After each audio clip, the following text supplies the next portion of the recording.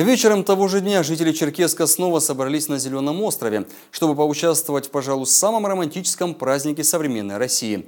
Ведь фестиваль водных фонариков по праву называют праздником для тех, кто в любом возрасте сохраняет веру в чудеса.